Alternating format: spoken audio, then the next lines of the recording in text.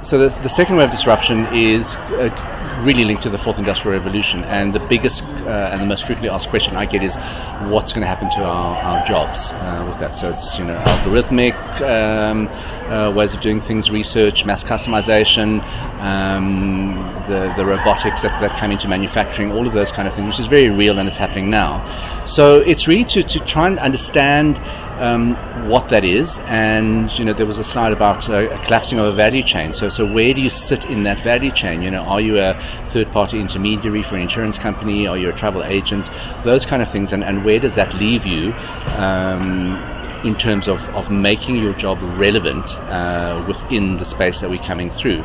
So I think the, the most important things are really about understanding the, the, the cross industry impact because I think people are so fixated on their own industry they don't look at the neighboring or ancillary industries um, which which for me the, the lines are blurring more and more um, and suddenly something that happens in hospitality becomes a huge problem in healthcare or something like that or, or, or similar technologies are being um, adopted. So so that's a that, that that's one of the things um, I'm talking about. And then it's about reskilling or understanding that your skills are hybrid as well. Um, because what stunts most um, innovation trajectories for companies is the fact that they are siloed, they're very hierarchical.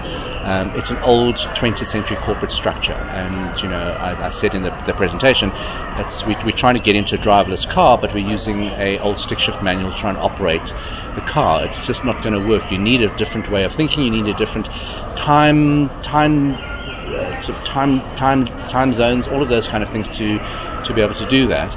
Um, and it's just really how to, to keep your head above water. And I think if you have to boil it down, it's about continual learning, upskilling all the time. Um, and then just being aware that uh, of what other industries um, are, are, doing and getting oh, sorry and getting skills that you might think aren't related to your job or industry, but suddenly you end up in a completely different industry or a different sector, um, and then suddenly those those those skills are, are are very very relevant. So it's being so companies talk about being agile. I think in a personal realm, it's about being agile yourself. Give us your take on the state of disruption in South Africa. Is it lagging behind the rest of the world? You gave some international examples yeah. in your presentation. I think in South Africa we we don't we lag behind and we don't lag behind. So you know you, you see especially on the on the say on the African continent, you know mobile mobile uh, payment systems have leapfrogged the developed world.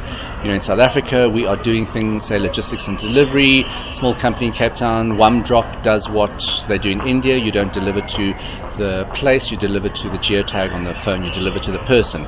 So we I think we're not short of ideas.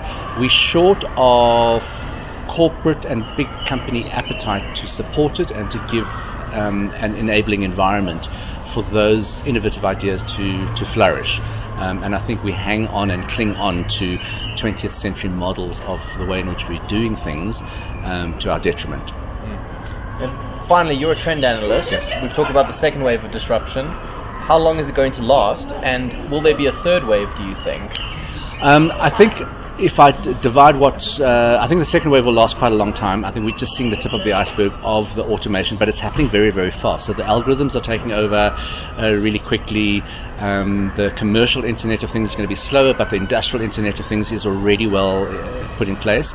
I think the part of it will will take longer is um, which I did tag onto it, which is the sort of virtual reality, augmented reality, the, the, the metaverse um, of, of, of, doing um, education training in that very exciting but quite puzzling parallel universe, uh, which is which is uh, you know come at us. So I think the, the second wave will will drag on, um, and then that third wave will be just the new stuff, uh, which is uh, the cyberspace we haven't explored properly yet.